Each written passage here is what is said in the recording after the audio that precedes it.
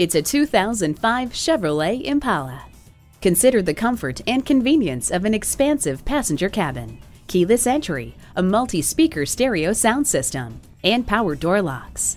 Add to that dual zone air conditioning, a responsive V6 engine, four-wheel disc brakes, coil spring suspension, and precise rack and pinion steering. The sunroof gives you fresh air for your drive. With a huge passenger cabin, deeply comfortable seating, and a long list of features, this Impala compares favorably to more expensive automobiles. Come in today and see it for yourself. Experience the difference at Rochester Ford.